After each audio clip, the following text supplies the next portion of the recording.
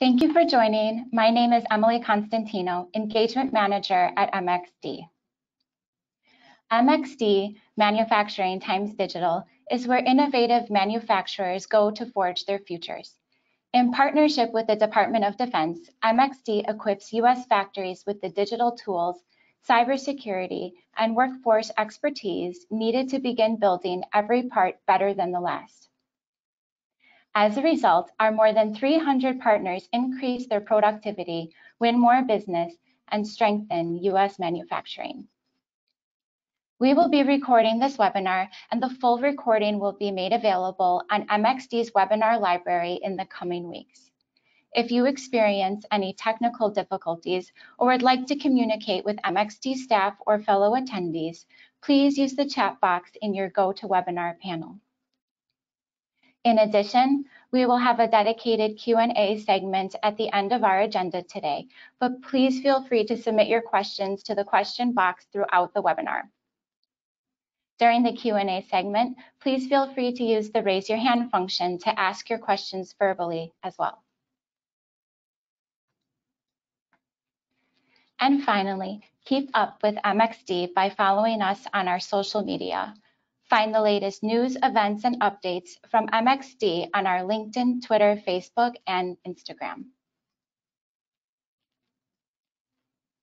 And now I will introduce our moderator, MXD's President and CTO, Federico Sciammarella. Today, Federico will present an overview of the current supply chain environment and show a demonstration of our supply chain risk alert tool.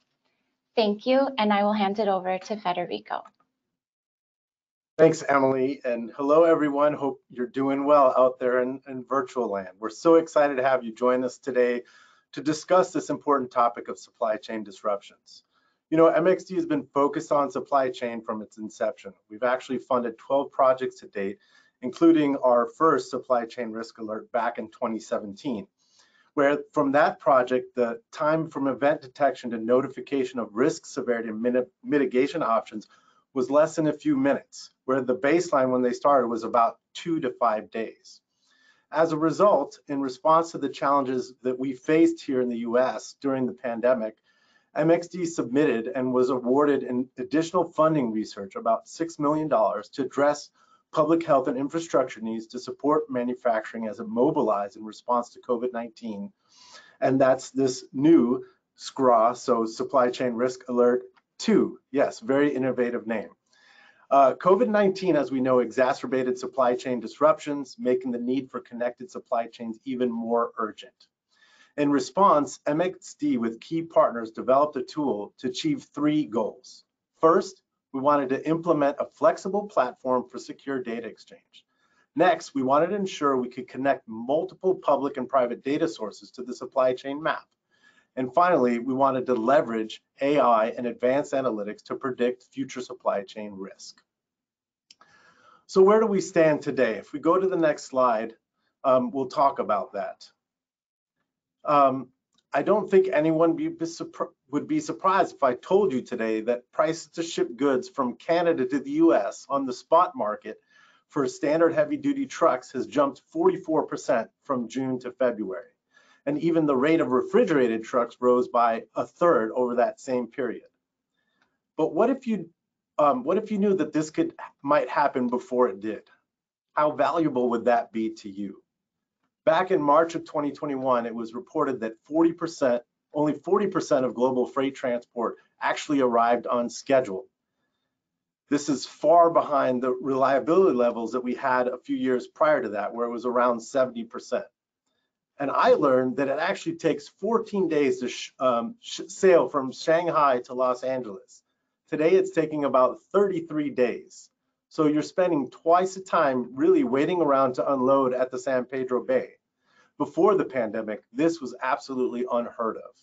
So while the ship container um, queuing is going down in the port of LA um, from its peak back in December, the cost obviously also has been very high. So that's been around $6,000, so up about 35% from the start of last year and about 230% higher than that same period back in 2020. So as you see in the slide here in the bottom, uh, as the economist said in 2021, this era of predictable unpredictability is not going away. This is why we need to have advanced tools to help us achieve sustainability in the long run. If we go to the next slide, here is where we can see the typical journey uh, for semiconductors for smart smartphones. This really allows us to visually understand where this complexity in the supply chains and problems come in. No doubt we've known that quarantines and social distancing have uh, effectively taken a large chunk out of the workforce, out of commission, especially those responsible for the procurement of raw materials and those who carry out the manufacturing processes. In the next slide, what we're showing is some work from McKinsey that shows the pandemics have had, as we would expect, major impact on labor intensive value chains. As we're seeing in this current crisis, demand is plummeted for non-essential goods and travel, hitting companies in apparel, petroleum products, and aerospace. So no doubt, as we see here in the next slide, that executives are really feeling the heat. Pressures uh, are mounting as they want to supply these uh, supply chain issues, and they fear for their jobs. Uh, but as we all know, uh, today we're having trouble hiring right? And there's increased pressures around cybersecurity due to this digitization that we're all uh, undergoing. I think the next uh, slide here also talks about the magnitude that we're facing with regards to the COVID pandemic. Um, and it shows that uh, according to McKinsey, this could potentially lead to more than $5 trillion in economic loss. As you can see in the US, it's uh, just over 228 million. This impact is gonna be uh, real and it's going to be felt for some time. Um, in the next slide, I think what we all thought about back in 2020 was this desire to nearshore, perhaps increase supplier base, but those aren't really easy things to do, and it's really going to take a large concentrated effort to affect this kind of real change. So what happened? Most mostly people were increasing their inventory of critical products for themselves and their suppliers, which is a good thing and has helped kind of slow down some of the disruptions, but it's a, just a temporary solution. Uh, in the next slide, what I wanted to highlight is this is why it's important perhaps to consider a supply chain risk management program. The benefits of a, this kind of program far outweigh any potential cost to implement and operationalize most organizations need to take a step back and ask where they are with their program maturity regarding supply chain planning.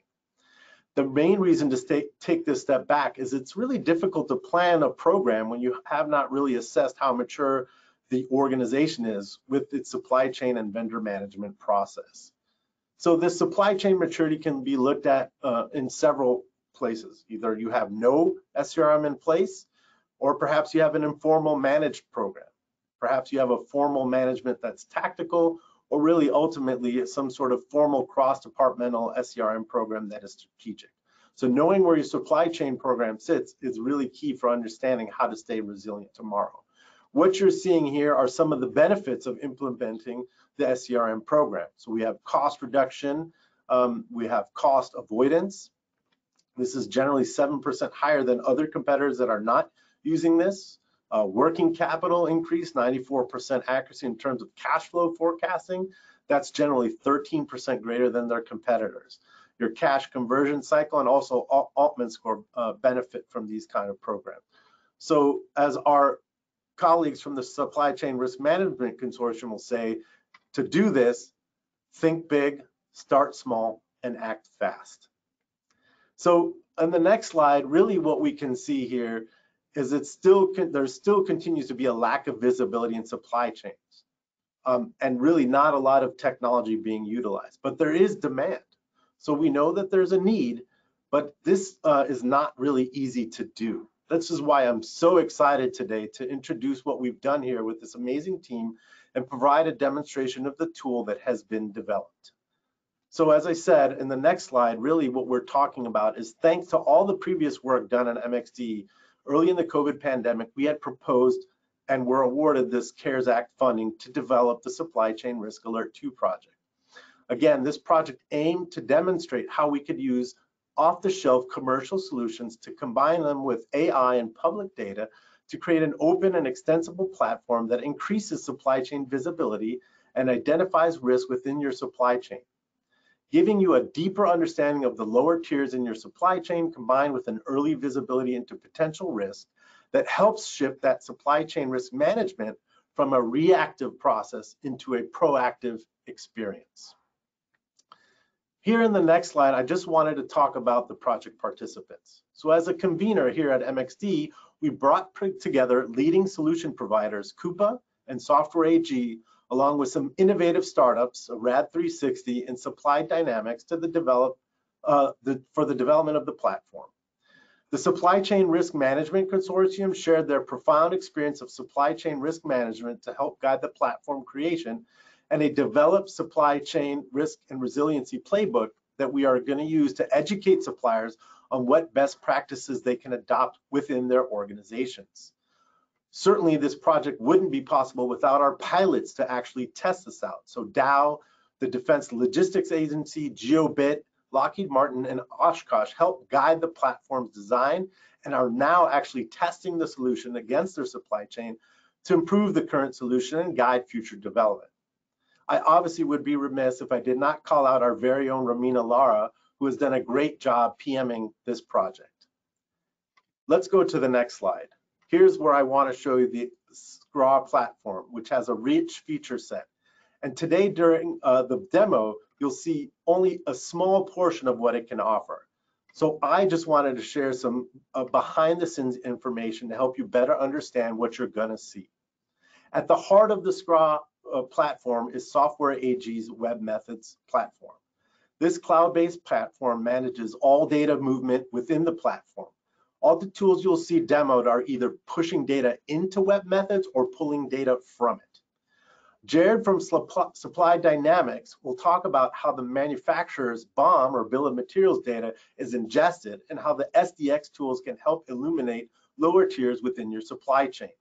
SDX also pulls third-party data sources such as Silicon Experts and LoQuest to map lower tier suppliers for your standard parts.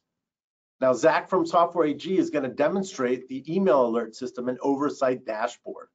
Behind the risk alert is a Coupa developed AI engine which leveraged public news, weather, and health data to help identify relevant risks, risk events which, can, which may impact your supply chain at all levels. Once identified, these risk alerts are available to all the tools connected to the platform. Later, Michael from RAAD will show you how you can use RAAD's environment to dive into the risk event details to really understand the impact on your supply chain and begin to formulate a mitigation plan. What Mike isn't going to be able to show you in the short demo is the advanced profile-based risk assessment and prioritization features that'll help you understand the total risk picture of your supply chain. Finally, Griffin from Coupa will show you how, your, how their product leverages supply chain digital twins to gain a deeper understanding of the impacts, financial delivery times, and more from that risk event. The Coupa solution allows you to explore multiple what if scenarios to determine really the best way to mitigate the impacts of current and future supply chain risks. I hope you enjoy this demo. And afterwards, you're going to be able to ask our panel of experts some questions about the demo and the SCRA project and how this can help increase supply chain illumination and resilience. I'll now turn it over for the video.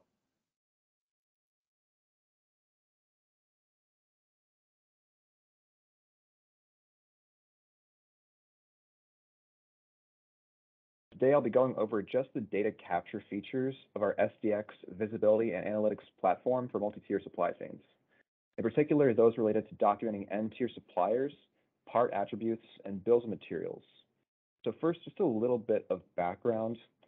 So many companies that approach the supply chain mapping process, they approach it very superficially. They map only the tier one level. So they ignore a lot of interactions that are going on much deeper in the supply chain below tier one. And this can be problematic because indented bills materials that identify all of the uh, material inputs and where they're being sourced from, they're really what determine whether a risk event uh, matters or not. And moreover, since BOMs change almost constantly due to sourcing and design changes, unless you can easily maintain the accuracy of that BOM data, supplier and event risk data, then it all becomes meaningless. So for that reason, the first step is to get good structured bills materials for all the parts and material inputs that are going into a customer's finished product, their equipment, their vehicles, their weapon systems, whatever. So you could invite your tier one suppliers or tier N suppliers to log into SDX and to self-report all that information. That's generally the least popular and the least efficient way to go about it. It's not going to be uh, very agreeable to the vendors. So if an OEM owns design authority on their product or equipment, Supply Dynamics will use a process called part attribute characterization to quickly, accurately, and inexpensively document part attributes and bills materials by using the OEM's own technical data as a starting point. So this could take the form of an engineering drawing in PDF format, a CAD file, a first article inspection report, or even a simple parts list. Whatever the starting point is, that's where we'll, we'll go with, with part attribute characterization. So once that data has been extracted and transformed such that it adheres to a common naming convention and data taxonomy, it's then loaded into SDX. So to summarize, uh, we perform part attribute characterization if good structured part attributes and bills of materials are unavailable. If that data already exists, we'll simply upload it into SDX. And then lastly, the OEM can then invite their tier one suppliers to log in and to validate things like make-buy relationships, lead times, raw material source supply, and frankly, anything the OEM wants them to validate. So with that background out of the way, I'm going to go ahead and hop right into an instance of SDX and show you what the validation process looks like. So there are three ways to validate. Um, a vendor can validate by individual part, multi-row editor, or downloadable Excel template. We always strongly encourage vendors to use the multi-row editor, which is what we're going to be covering today. This tool allows them to validate multiple parts en masse and so let's pretend that I'm a tier one supplier and that I've been invited by my OEM to validate the components I'm supplying to them. So first, I'm going to get my filter set here, and I'm going to go ahead and populate my data. And uh, most of the pre-populated data you see here was either collected from part attribute characterization, or it was provided by the OEM directly. In the case of the SCRA project, most of it was provided directly by the OEMs. So as the vendor, all I have to do is to review this data and confirm its accuracy, and also fill in gaps where there's missing data. So for instance, for these parts, I'll zoom in a little bit here so you can see better. I have to indicate whether I make this product myself or I purchase it finished from somebody else.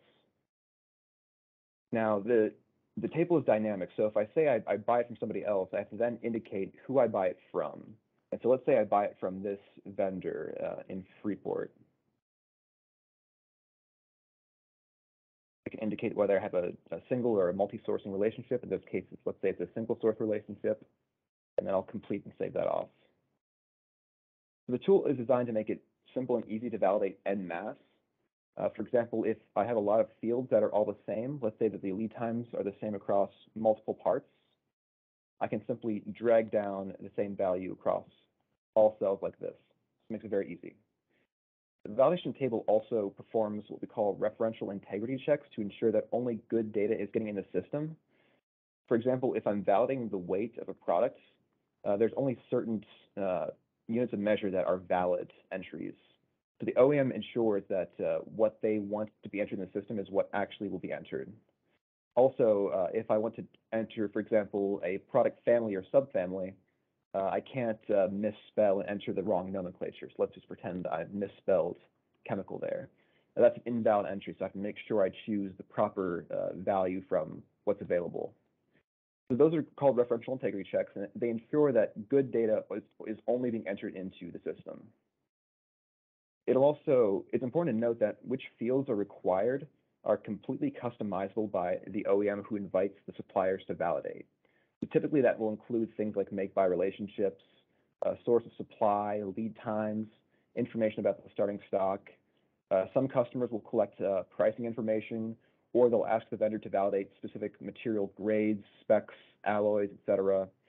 Uh, it really depends on the material in question, as well as what the OEM's requirements are when they set up the validation process. So once I fill in all the required fields for this particular part, I can complete validation for it. So this requires that I certify my bill of material data is up to date and accurate. So it'll ask me to certify that. I'll go ahead and hit accept. And now that part is marked as validated, but there are other parts that are still in progress that I have to finish to complete the validation process. So now that OEM who invited me in has uncovered an additional tier of supply that can then be tracked by SDX and the larger SCRA platform. So now I'll turn it over to Software AG to explain how SCRA can help mitigate against risk events that could impact that supplier. So whenever a new risk comes in, an email is sent out to the appropriate individuals. So we're going to go through how we see this playing out between the SCRA UI and the RAAD and Coupa applications. A new risk alert posted. It looks like it would be affecting my Freeport, Texas site. Let's take a look at it on the dashboard. And log in. And oh, new top risk alerts. Hurricane nearing landfall. Let's view it on the map. This must be it here. Looks like it was posted on February 8th around 12 in the afternoon. Severity unknown. Let's see if it's shown as affecting my site. It should be my site here, and it is. And it was a severity unknown, and we can see here it was affecting my site. Uh, let's view more details about this risk alert in RAAD. And I would click this to go into the RAAD portal, and with that, I'll turn it over to Mike Loveless with RAAD 360. Hi, my name is Mike Loveless. I'm with the RAAD team, and I'm going to walk us through how the data that you've seen brought through Software AG becomes accessible to the user in the RAAD platform. I'm going to start off with that Texas risk alert that was brought up a short while ago, and I will show you in the risk alerts dashboard how a user would access this and be able to interact with it from a risk assessment, risk scenario planning, and mitigation planning perspective.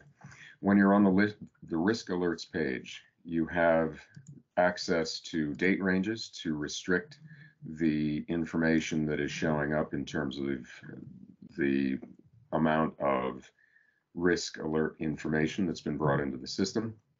You may search based on key terms or sources. So if I type in Politico, it starts to restrict. If I look at Brussels, you can see it starts to restrict. Uh, we're going to look at the one from Texas. Now, one other thing that you can use for filtering, filtering or sorting, you may mark certain risk alerts that you've already reviewed as being favorites so that you can get back to those quickly. So if I go here and I've got the full list of 1088, I may click to just those that are favorites as well. I may also view the risk alerts not just in list view, but also in map view. So those things that have a, a, map pin based on a location, I can drill into those and see the locations that have specific risk alerts associated with them. Going back to the favorite alerts, I'm going to grab the one that was mentioned in the previous demonstration for hurricane landfall expected in Texas. Now, the same information that is used over in Coupa is the same information that we use in RAAD from a bill of materials supply chain perspective. We receive the information from Coupa that has come from their AI search engine, which is restricting to only bring information through that relates to relevant nodes in the supply chain, either components or locations. And as you can see in the risk alerts detail page, you the user will be able to benefit from a sentiment analysis of the tone of the article, whether it's positive, neutral, or negative. Also, we'll see the topic or topics which are relevant for the content that's in that article. The user may also click on those external sources that are listed and view them directly. From the story itself, the AI logic is able to identify potentially components and locations that could be affected based on the information that exists in that risk alert news article. The user may certainly add more if there are other components or locations that the user is aware would be affected, but that the AI logic didn't necessarily identify out of the content of the story. The user may also override and remove certain locations or components. But based on the components and locations that are involved, the where used functionality in RAAD will identify product or products that could be affected based on the impacts identified by AI and user in the supply chain nodes. Based on that, the user can also create risk scenarios that may relate to things that could happen based on the news in the article. And the user can create mitigation plans, which could either be developed in advance for those hypothetical scenarios or against actual issues that are arising from uh, a news story that is not just hypothetical, but actually reflects something occurring as an actual event. From any of these uh, parts of the risk alerts detail page, the user can drill into details related to the supply chain nodes, either as components or locations, and view, again, the risk alerts that have been connected to those locations, what the highest risks are at component and location level, and view where those things are used. If any mitigations have been created, those will be visible here. And as users create mitigations and scenarios, that information gets transmitted over for Coupa to use in digital twin simulation. At this point, the user having created scenarios and mitigation plans may want to go over and evaluate how that looks in the Coupa system. And so by returning to the dashboard, the user then can proceed to the Coupa system to evaluate and perform digital twin simulation. So at this point, I will hand over to the Coupa team to demonstrate that functionality. So far, we've validated our input data and been notified of a risk alert. Uh, next, I will be showing you the digital twin uh, and network model that we can use to assess the risk and understand the impacts it may have on our network. I can uh, open up my app by going to the App Studio here, and I can select the specific app from the, the list here. Because we are assessing the risk, we can assume that we already have built and validated our baseline model. So we don't need to go into these first three sections here. Instead, we will start with the design risk scenarios section. I can click there and be taken to this screen with my list of scenarios. We already have a scenario created that will shut down this Freeport location because of the hurricane. We can open it by clicking on this button in the bottom right. From here, I can select the scenario from the dropdown and hit OK. When we've selected our scenario, we're taken to the scenario configuration page. This page will allow us to make any changes to the network to reflect what we expect to happen because of the risk. There are a number of levers here that we can pull, including sites, lanes, production, and even customer demand. Today, we only need to use the sites lever to close down the Freeport site. We can see from the map that the Freeport location is colored red, so it has been excluded already. If we wanted to close another location, we could do that in this table on the left using the site status column. For now, we can leave it as is since we only want to exclude the Freeport location. Once we are happy with the scenario, we would go to this Run Risk Scenario button in the top right. This would begin the process of solving the model, and after a few minutes of running, we would be taken to the output screen. We'll save the time today because we've already run this beforehand and go to this compare scenarios screen. In the scenario comparison section, we can see that the hurricane has caused, caused us to spend $400,000 more, primarily in production costs. We can also see that we're averaging about 2,500 miles more between sites. We can get a quick, quick glance of what may be happening by taking a look at our network map. Here, we can see the baseline on or current state on the left-hand side. Products flow directly from Asia into our Freeport location. On the right-hand side, those same products flow from Asia to Brazil to our manufacturing location in West Virginia. We can also use the detailed comparison tab to see exactly where those cost drivers are coming from. We've been able to fulfill all of our demand, but that is due to the extra $400,000 in production costs and some minimal increases in transportation costs. If we wanted to get more information about those production costs, we could go to the production tab. Here we can see the differences between ba the baseline and the scenario again. We can scroll over and see that our scenario costs are driven primarily by this one location.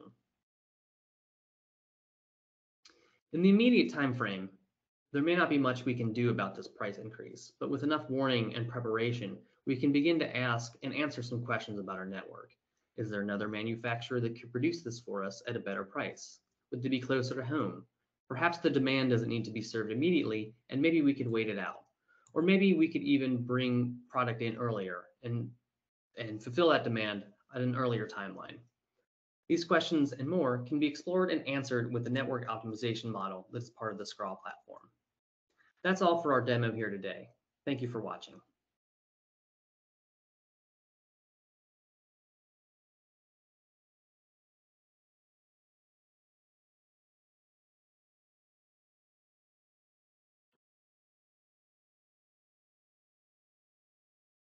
All right.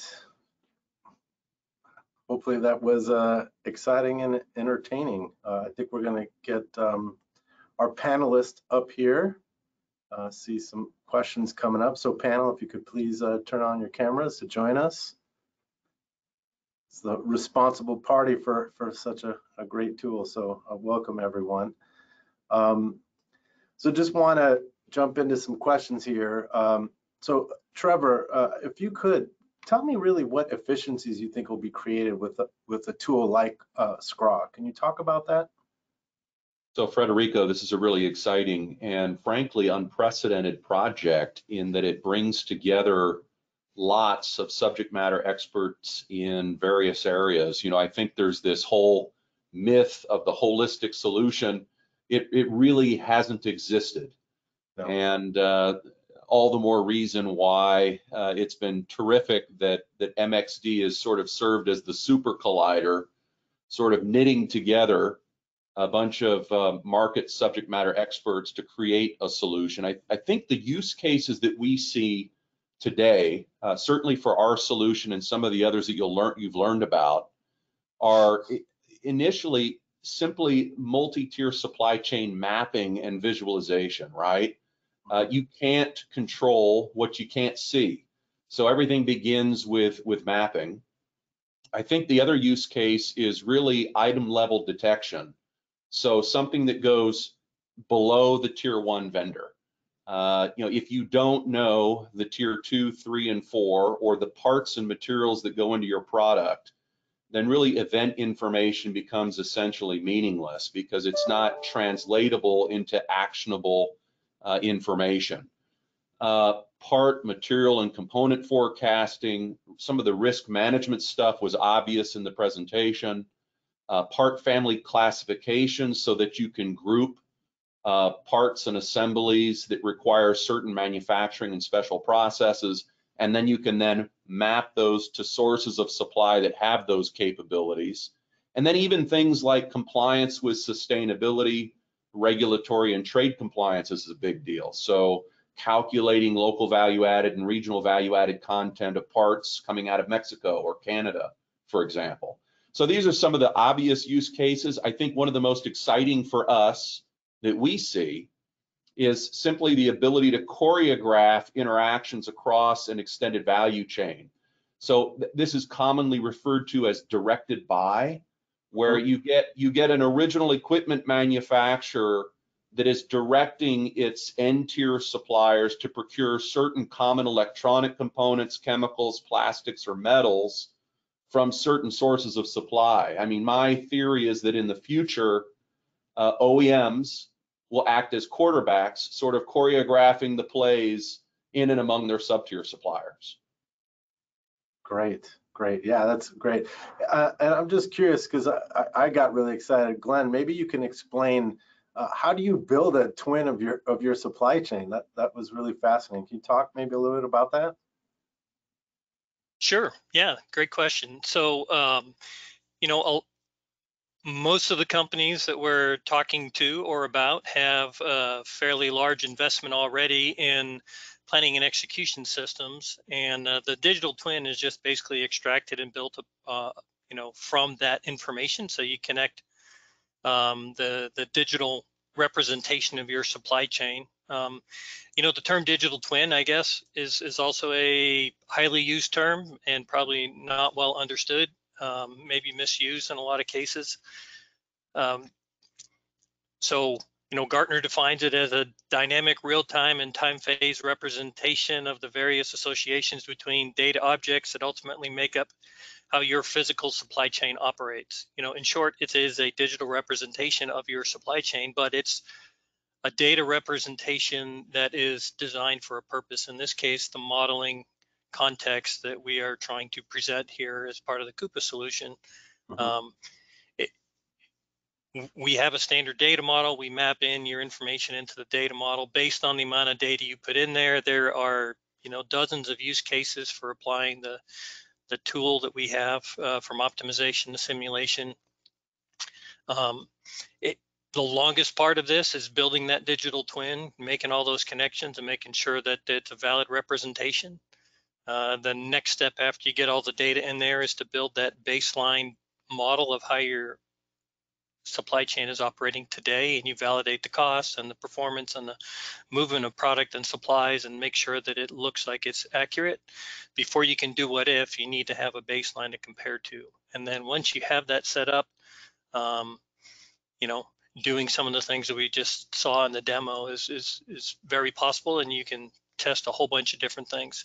My, my background i'm an air force uh, retired colonel and pilot. I, I didn't fly an airplane didn't operate an airplane until I, I went through the paces in the simulator to understand all the things that could happen, uh, you know, you know, engine fires and the like, and, and you train on how to respond to that thing. So the, the planning you do and the training you do gets you ready for events that are unplanned in real life. And the same. Great, yeah, and I think that brings another question about this uh, transparency of supply chain. So Greg, if you could Tell me what you think the largest cultural shift that needs to be addressed to really pave the way to this supply chain uh, supply chain transparency that, that we're going to need for for tools such as this. Oh, uh, can't hear you, Greg. Can you try to unmute?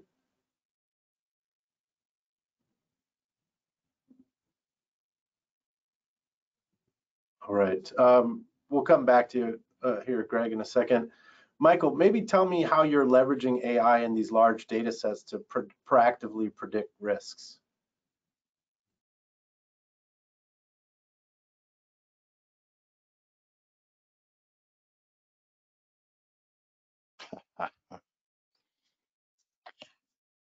You're muted. You might have to click the mic uh, again. There we go. There we go. Yeah. Okay. Said that I was I was muted by the organizer. yes. Yeah, so great, great question, Federico, and it's it's one that that really uh, taps into a trend that you see a lot in in the technology market these days, where more and more organizations are coming out attempting to apply an AI solution to risk assessment, evaluation, trend prediction. It is a powerful tool. It's exciting where it's headed in the future. It does need to be balanced as well. AI isn't always needed. Sometimes using analytics along with a specific decision support program logic can do the same function. But in either case, uh, AI or other tool approaches, the goal is still to help project and predict the likelihood of a risk event occurring. And it's especially important today in, in the uh, across organizations and across industries. The just-in-time inventory is is tending to be the, the way to approach things. You're not looking to carry massive uh, safety stocks in that scenario, the, really the only way to achieve uh, resilience is through proactive analysis and preparation, and AI is part of that. Now, from the standpoint of evaluating external risks, which is what you see a lot of the technologies coming out today do, that's focused on predicting future event occurrences. Um, these can also likewise be used to project and analyze event frequencies, uh, cyclicity, seasonality, or contributing or compounding situation factors um, based on your organizational environment. But it's also equally important to make sure that you train the same logic, whether it's analytics and uh, program logic or it's AI, on your internal enterprise data. Uh, you need to really evaluate from your own databases data patterns, trends, anomalies that can point to potentially internal triggered risk events, production defects, supplier late deliveries, customer product recalls. Uh, now, as I was saying, AI has become kind of the, if you have a, a hammer, everything to you is a nail. You need to be cautious with the way that you apply AI, that you don't let it be the only mechanism for assessing risk because human understanding of the nuances of your operations, your first person experience, site visits, observation, the knowledge of factors that won't appear in the news or enterprise data are all equally crucial inputs. And so you have to build a system that can learn from user input using machine learning, override behaviors, etc., with respect to what the system is proposing so that you don't just go along as if it's a, a roller coaster ride that you don't have, have control over. Uh, to achieve intelligent resilience really requires the blending and balancing of the best of human and machine. And that's where I think that AI has its proper use, and that's where the optimized solutions will go in the future. Great. And I think, Greg, maybe you fixed the, the problem, so maybe go, come back, because I think that is important. What What is that cultural shift that needs to happen to address this issue of supply chain transparency? You you bet. Uh, it's very important. I fought the mute button and I won finally. So uh, uh, yeah, uh, to us, we've been in this space for 12 years. To us, risk management folks is all about culture. All right. Many companies that we've worked with around the globe, many of them are risk averse and they focus purely on loss control. Other companies are procrastinators and they wait till the very, very, very, very, very last moment to make a decision regarding risk. Still, others are very good managers where they're they know how to balance, as Mike was saying, they know how to balance risk reward. And they have several different tools and techniques to do that. And then finally, there are organizations that are very aggressive and they treat risk not as a negative, but as a positive. They look at risk as an opportunity to grow. So there is no right or wrong answer for the folks on the call. There's no right or wrong answer, but one needs to understand the company's risk appetite before you begin the journey. And I'll reiterate the importance of visibility and transparency again. What you don't know about your supply chains can and will hurt you, especially relating to your risk appetite. So it's both what what you don't know about your visibility in your supply chain and if you're not aware of your company's risk appetite that can and will hurt you so that's what we've seen a great point. Uh, Mike, you want to add something there real quick? I do. I, I, really like Greg's point that it isn't just defensive, it's offensive. And I think that your exemplars with respect to the management handling of supply chain risk management recognize that it is not just for the prevention of risk damages, but it is also opportunistic from a competitive perspective. And we've heard that even in some meetings with uh, some of the other member organizations of MXD that they found that during the pandemic, because they had thought proactively, had developed some potential hypothetical situations, one of which apparently came very close to what happened, they were better able to deal with that and get themselves out of the, uh, the trough of disruption and be able to actually take market share from competitors who had mm-hmm. not taken that time up front. So it changes from being a, a, cost and protective thing to actually being an opportunistic and business development type of a, an asset. Yeah, that's that's a great point. Um, I don't know if we lost Floyd or just have a, a video issue. Floyd, are you there? Oh, oh hey. All right. Uh, Floyd, I just wanted to ask a question here. How do you ensure the platform itself isn't a static solution for just today's challenges? Yeah, well, look, I think out of the box, I mean, there's certainly already a lot of great capabilities that are part of the platform but the types of information we have today may change or the, the methods and the sources may change. Mike even mentioned about making the models smarter over time. So that includes getting additional data and data sources that may play in play into that. So what's important to make sure that it's not static is to have that data ingestion layer. In the case of SCRA, that's provided by the webMethods integration platform. But the, the data ingestion layer, what it does, it abstracts the data and the sources. So for example, the BOM data, event data that's coming in from the components that use the data, such as RAAD and Supply Dynamics and Coupa. And what this really creates is that agile framework. You mentioned kind of in the beginning, Federico, that calling it an open and extensible framework. And so what that does then is it allows any new data source now or in the future to be quickly added in a plug and play fashion. Um, the, the, data ingestion layer also provides that connectivity to any, any data because it could be APIs, could be files, could be data lakes, you, you name it.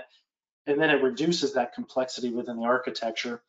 So what this also means is new capabilities that maybe are in Vision now or added in the future can simply access a common set of APIs within the SCRA platform.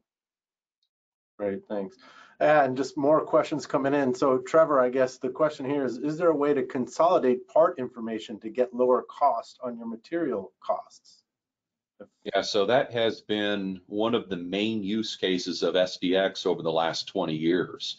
Mm-hmm. Ultimately, what drives behavior is incentive, right? Somebody once said that stakeholder alignment eats strategy for breakfast and the, the, the, way the way that you want to get alignment is to is, is to make sure there's something in it for everybody and and one of the obvious uh, areas of low hanging fruit is the opportunity once you can see across an extended value chain is to say hey what are the common material inputs in terms of electronics metals plastics chemicals and just as in a in, in a football game, a quarterback calls the plays and choreographs the activities of the players. Now you can get an OEM saying, does it really make sense for uh, you know 72 of my suppliers to be buy, buying titanium independently, or would it make sense for me to assist them in procuring common 6-4 titanium from one or a few sources of supply? So what we've seen in the last, you know, even in the last three to five years is we used to say, well, the savings could range between three to 7%. It's not uncommon to see OEMs driving closer to 22 to 25% savings for common material inputs. So I think you've got to look for those opportunities to create what we call stakeholder alignment and create the incentives for transparency and cooperation. Oh, that's great. Um, yeah, I got a question here, interesting one, so I'll, I'll throw it out there. Maybe Floyd, if you want to start, but anyone else jump in. So it says the DoD issued a report yesterday on the state of competition within the defense industrial base. Essentially, there isn't any competition with the consolidation of five major firms. So with a lack of competition, who will drive SCRM for DoD? The contractors or DoD? Whose culture will accept SCRM's role and the incorporation of tools such as MXD? So uh, Floyd, if you want to take a stab, and then I'll, I'll open it up to, to whoever else. Yeah, yeah, certainly that that opens the changes, uh, but I think ultimately the the DoD drives drives a lot of that, right? I mean, they're they're ultimately who are responsible for it. It affects them, and so I, I think it takes that consolidated effort from the DoD driving that message and that agenda, and then the the the industrial base will will follow suit. I'll, I'll chime in by saying that you have you have a choice sticks or carrots right? And and generally you, you want to use both. The dod is very good with sticks. Uh, our commercial customers are much better at using carrots. I think you have to use both. So uh, if if i am the dod customer one of the best ways to get my suppliers to be more transparent about their supply chains is to say hey as a condition of purchase you're required to do these things. And I, I don't think the DoD has traditionally asked for that. I think what the DoD has traditionally asked for are other things. Mm-hmm. And I think they're beginning to rethink that equation. Okay. Yeah, I'll, I'll chime in. I'll chime in. Uh, Trevor, good point. Uh, in fact, that what we've seen, uh, most of our clients are commercial manufacturers. What we've seen is is just what uh, Trevor was talking about: incentives you know, what's in it for me? And you have to articulate to a manufacturer uh, from us to them the benefits to be derived, Federico, that you profiled from us uh, initially in the in the session. I think uh, for the DoD and the contractors, I think all of us have more work to do to essentially articulate what's in it for everyone in the complex DoD supply chain. So we we all have a lot more work to do to demonstrate and articulate what's in it for everyone uh, because as Trevor mentioned, I think it, it's a collaboration. There's got to be incentives and people need to understand what's in it for me, why we're doing this. And so I, I think uh, we still have a lot of work to do uh, Right. in this large uh, supply chain arena. Michael, go ahead. Yeah. Yeah, all great points. And I think that uh, one thing that I will add, obviously, there are certain agencies which already do require that type of transparency, NASA and Missile Defense Agency among them. Uh, for those that have not required that, it's very difficult to go from zero to 100 all in one shot. So there is an ability to do, to do a crawl, walk, run type of an approach, uh, particularly when you think about it, one of the easiest things to do without them providing the transparency to all of the details of what they're doing. You don't need to know what goes into the sausage as long as the quality is good. Over time, you can start to ask for more information, but at the very least, if you're able to find a way to capture and to consume into your own SCRM information about how your suppliers feel they are handling the risks that threaten their operation, as long as you have an idea of what they feel their top end risks are, how frequently they're hitting them, uh, what of their products could be affected, but without getting into all the details, at least that's something that you could use to start to train your AI searches for external news that it relates to at least the, the high level things that they're identifying that they're concerned about. That's kind of a small way to get started, but if you're if you're going from having not captured anything, that may be a relatively low risk way for them to be able to provide that kind of information. Okay, great. Uh, and Glenn, a, a question here from the audience again. Um, do you see an 80-20 rule for these types of technology? I'm assuming the use of these type of technologies. Um, uh, if uh, if at all, I mean, I guess, how, or your thoughts on that maybe? Um, 80-20 rule, trying to understand the context here. Um, Yeah, or Dan, uh, whoever, I think it was Dan, if you want to uh, type in some more uh, to that. Um, If not, we can jump to the next one. I think the, um, I think Okay. the thing I would I would say is, um, you know, in relation to Trevor's carrot and the stick, you know, the application of these technologies to build more resilient and agile supply chains is what's in it for me for for all of the industrial base, not just we don't need just regulation to tell us to do it. Mhm. Uh, all these companies that are part of the solution, we exist because we add value to companies, you know, every day with, you know, that's the carrot, right? There is value in in going down this path, having a resilient and agile supply chain uh, is, Yeah. is worth it. So he, the, the- he clarified it, they were say, asking, where do you focus your initial efforts? Is perfection the blocker of progress?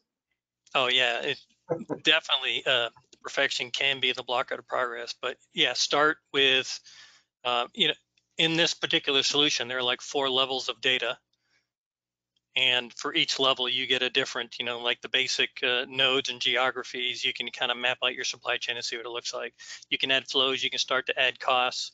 When you get to the cost level, you actually start to have a, a basic functioning digital twin that provides a lot more insight. And then there's other lay, layers beyond that. But start small, start getting insight, start doing something with it. And yeah, perfection, you can pursue that forever. But 80 20, definitely, yeah, go with 80. Anyone else? All right, I've got an interesting question here. Uh, it says, how can MXD ensure the protection of sensitive multi-tier supplier data, e.g. leveraging AWS GovCloud? Um, Any, any takers on that or thoughts? I'm going to share, I'm going to share something that we're very excited about. We're also working with MXD on this project, but we have a project where, for example, if you look at financial stability of a company, very much easier to get that kind of information from a publicly traded company that has to disclose certain things publicly, but very difficult, particularly in the aerospace and defense arena, because about I would say 70, 60 to 70% of the suppliers are not public. They're privately owned and therefore subject to much less rigorous financial reporting requirements. So we're working with a, a partner on a project at MXD where uh, we're using virtual vault technology uh, to allow a small or medium-sized company to submit financial information uh, into a virtual vault. It will then perform a credit assessment and basically calculate an Altman Z-score but it did not require the transfer of that sensitive underlying information to any third party. Now, once the score is calculated, you extract that uh, and you're able to report on a company's financial stability without requiring them to transfer that sensitive data. So uh, the company's name is Sympatic, and they're a partner on a project that we're working on with MXD. Yep. Uh, I think that's it's one very innovative way to handle these sensitivities. The the other thing that can be done that I think has been very effective is within within SDX, uh, you're able to do what we call attribute masking. So sometimes the OEM at the top of the food chain doesn't really care about the detailed data. They just want the overall insights that that Michael was referring to earlier. And so attribute masking can be a very effective way of, of, of uh, incentivizing greater levels of transparency and cooperation. Yeah, and just to kind of bounce off of that or add to that and what Trevor's saying from the, the masking layer, uh, one, certainly running inside of a Gov, GovCloud or secure uh, environment, all, all, the, the platform can run in there and be secure that way. But even on the access layer or the API layer, being able to provide policies and even mass data so you can apply policies to secure and ensure who can access those APIs and data and even mask out attributes even on the API level. Okay, great. And we've got a couple minutes left here, but I just want to question here, uh, kind of same along lines. Glenn, what are some of the security risks to uh, implementing a supply chain alert tool and how can manufacturers avoid risks, if any? If any? Um, yeah, so I, I, think there's probably greater risk in not trying to implement some sort of scanning tool, um, yep. right? You know, the potential risks uh, that are out there can impact your supply chain in so many negative ways. An active scanning system, there's so much news, there's so much noise. Having some kind of AI robot that's going out there scanning and finding things that are relevant to your supply chain is one great way to, to have a proactive, active scanning, you know, process. So I would, I would say change the question a little bit. yeah, yeah. Uh, so we got about a minute or so left here. Again, I just want to thank all of you for, for all your efforts and, and work going on here. I know it's not over. We, we still got some some way to go, but um, you know, I hope the audience has enjoyed. And if we haven't gotten to your questions, we will get back to you. Um, I know there was also a question about the DoD article that was mentioned. I just read that, so I'm not sure what article that is, but if anyone wants to send it my way, happy to share it with those attendees here. Um, I think at this point, what I'll do is uh, thank you all again and probably turn it back over to Emily to, to close us out. Thanks, everyone. Emily?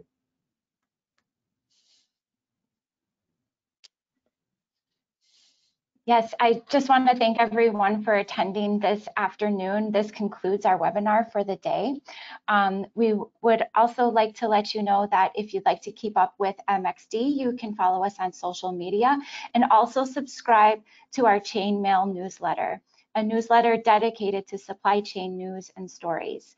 Uh, thank you again to our panelists. We appreciate you so much for uh, attending this afternoon and sharing your insights on the Supply Chain Risk Alert Tool project, and of course to our moderator, MXD's President and CTO, Federico Sciammarella. Thank you so much. Have a great afternoon. Thanks, everyone. Take care. Thank you. Bye. Take care.